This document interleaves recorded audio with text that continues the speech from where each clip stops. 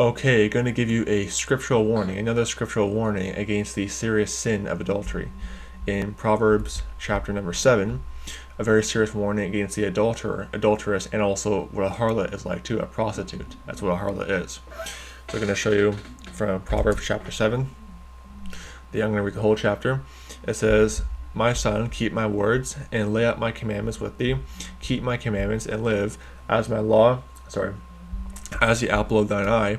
Bind them upon my fingers, write them on the table of thine heart. Say unto wisdom, Thou art my sister, and call understanding my kinswoman, that they may keep thee from the strange woman, from the stranger with flattereth with her words.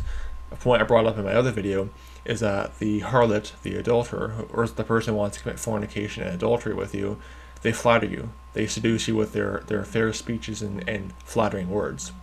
Don't be deceived by that. You'll see that a lot with a lot of harlots and prostitutes. Verse 6 For at the window uh, of my house I looked through the ca- my casement, and beheld, and beheld among the simple ones, I discern among the youths a young man void of understanding. So he's a young man, hasn't been through life, hasn't been through life experience. Uh, probably a guy in his early 20s, who knows. Passing through the street near her corner, he went the way to her house in the twilight, in the evening, in the black and dark night. And look at verse 10. And behold, there met him a woman with the attire of an harlot and subtle of heart. You see, the harlot, the prostitute, the adulteress, is immodestly dressed. She's dressed in immodest apparel, the attire of a harlot.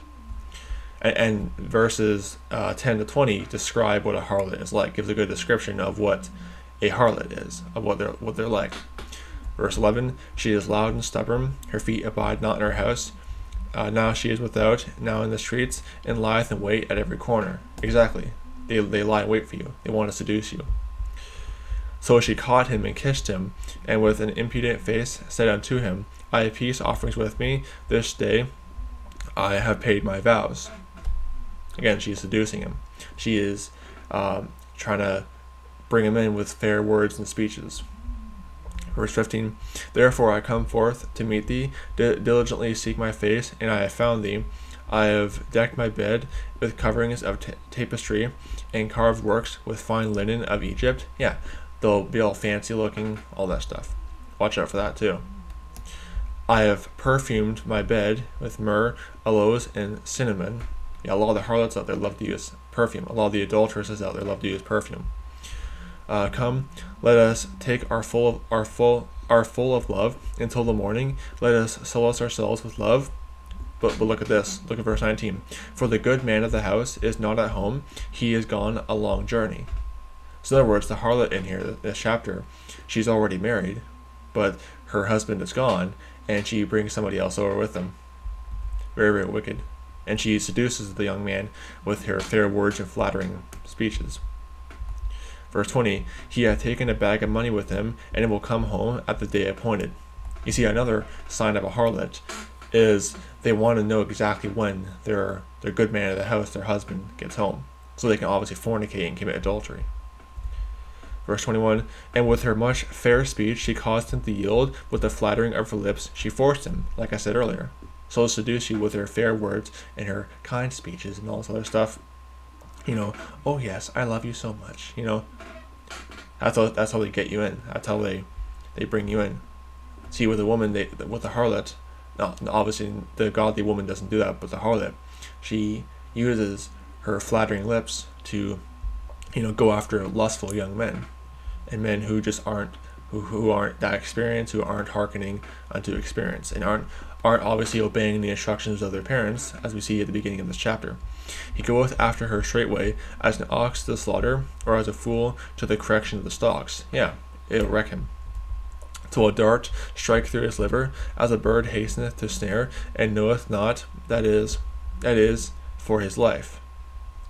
Hearken unto me now, therefore, O ye children, and attend to the words of my mouth.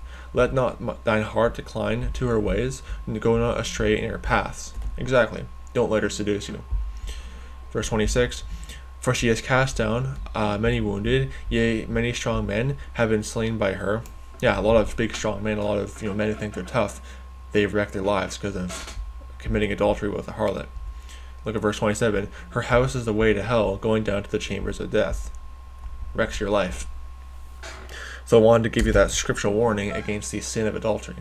And a very, very serious warning. Proverbs 5, 7, 6, and 7 all give really strong warnings against the serious and wicked sin of adultery and how the harlot will, will flatter you, she'll seduce you with her fair speeches and kind words, but then when you actually get with her, she reveals her true colors and she wrecks you, wrecks your life if you're a young man out there. So I wanted to give you that. So don't be deceived by the harlot and don't be uh, getting into adultery. It is a wicked sin. Again, Leviticus 20, verse 10 uh, said that adulterers, under Leviticus 20, verse 10, under the law of Moses, adulterers got the death penalty. That's how serious of a sin God saw adultery as. Uh, so obviously, we're not under the law of Moses today, but it just shows how serious the sin was. So and is still today. So anyway, may the grace of our Lord Jesus Christ be with all the brethren. Goodbye.